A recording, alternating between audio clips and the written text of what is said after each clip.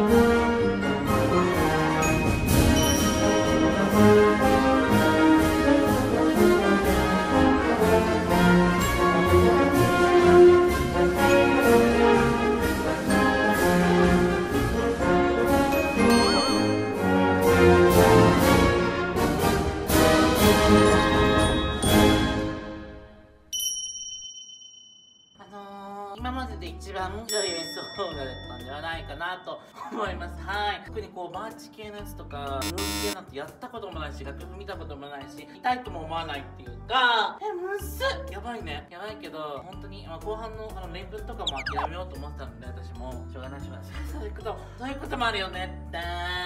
えー、でも鍵盤叩けるようになりたいなっていうふうにちょっと思っているんですけども。意外と打楽器能力低いんだよねそういうのもなんなんですけどやもうちょっと現役時代の時に鍵盤楽器やっとけばよかった。鍵盤楽器私もうほんと鍵盤楽器やるってなった時は死ぬほど練習してるから死ぬほど練習してやっとステージ立ってるみたいな感じなのでピンポインとかだったらなんとなくさノリでできるんだけど鍵盤ノリできません。あの一回アンサンブルで全員鍵盤みたいなアンサンブルをやったことがあるんですけど本当にできなすぎて全然そんなめっちゃ難しい役じゃないんだけど人の3倍ぐらい練習して 医薬の授業っていうのがあったのね。その時も鍵盤楽器だったんですよ。テストが。その時もめっちゃコンクール期間だったのにめっちゃ練習して本当に死ぬほど練習しました。みんなよりめっちゃ練習して初めて形になる。うまいとかじゃない。形になる初めて。ピアノやってたんだけどね私もともと。おかしいな。あーということで皆さん本日も動画を見てくれてありがとうございました。この動画が面白いと思ったらチャンネル登録高評価お褒めのコメントお待ちしております。それでは皆さんまた次回の動画でお会いしましょう。バイバーイ。